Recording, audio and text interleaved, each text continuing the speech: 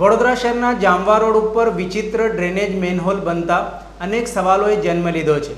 વડોદરા મહાનગરપાલિકા તંત્રએ શહેરીજનોની સુવિધાઓમાં વધારો કરવાનો હોય છે, પણ લોકોની સુવિધાના સ્થાને લોકોને મુશ્કેલી પડે તેવી કામગીરી પાલિકા તંત્રની છે. ગાયકવાડી શાસનના સમયથી વડોદરાની એક આગવી ઓળખ હતી, પણ આજના શાસકો વહીવટી તંત્રના પ્રતાપે શહેરનો વિકાસ અટક્યો છે. પ્રજા રોડ પાણી સ્ટ્રીટ લાઇટ સહિતની પ્રાથમિક સગવડો ન મળતા પરેશાન છે પાલિકા તંત્રના સ્માર્ટ અધિકારીઓની કામગીરીના નમૂના પણ વડોદરામાં જોવા મળે છે. અટલ બ્રિજમાં વિવાદ, લાલબાગ બ્રિજ, ડિવાઈડર પર કોનોકાર્પસ આ અધિકારીઓની બુદ્ધિ પ્રદર્શિત કરે છે. તેવામાં હવે પાલિકાના અધિકારીઓના સ્માર્ટ વહીવટની પોલ ખોલતો બનાવ જામવામાં સામે આવ્યો છે.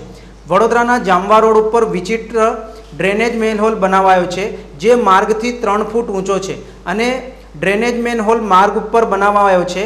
આ ત્રણ ફૂટ ઊંચો ડ્રેનેજ મેનહોલ વાહન ચાલકો માટે જોખમી બન્યો છે. વાહન ચાલક માર્ગ પર એકાએક આ ડ્રેનેજ હોલ આવતા અકસ્માતનો ભોગ પણ બની શકે છે. પણ અધિકારીઓની બુદ્ધિ સામે શું કહેવું? વાહન ચાલકોને રાત્રે મેઇન હોલ દેખાય માટે સફેદ પટ્ટા મારી સંતોષ વ્યક્ત કરાયો છે. આ મામલે મેયર નિલેશ રાઠોડને પૂછાતા, આ મામલે મેયરે જણાવ્યું હતું કે અમારા ધ્યાને આવતા ટેકનિકલી શા માટે આ ચેમ્બર ઊભું કરાયું છે તે જાણી કોઈ પ્રતિક્રિયા આપવામાં આવશે? અમે લોકો ગઈકાલે જ ત્યાં એક રોડના ખાતમુહૂર્ત માટે હું અને અમારા વિસ્તારના ધારાસભ્ય શ્રી યોગેશભાઈ પટેલ ત્યાં ગયા હતા. જતાં જ રસ્તામાં અમને જેવું ધ્યાન આવ્યું, રસ્તામાં દેખાયું એટલે તરત ગાડી ઊભી રાખી, પાછળ અધિકારીની ટીમ આવતી હતી.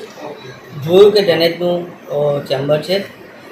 કયા કારણસર આટલું ઊંચું એ લોકોએ લીધું છે? ટેકનિકલી અમે લોકોને કીધું છે કે ભાઈ એનું ટેકનિકલી ચેક કરી અને જો નીચે નીચે રોડ લેવલથી થતું હોય તેને ચોક્કસપણે કરી દેવા માટેની સૂચના આપેલી છે.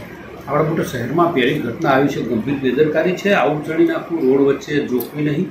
જે પ્રમાણે અમે જોયું એ પ્રમાણે એવું લાગે છે કે કોઈ બી હોય આટલું મોટું ચેમ્બર ના લઈ શકે પણ એની પાછળનું કારણ આટલું ઊંચું લેવાનું કારણ શું હતું ટેકનિકલી એ ચેક કરવાનું કરીને પછી જ અમે કોઈક સ્ટેટમેન્ટ આપી શકીએ.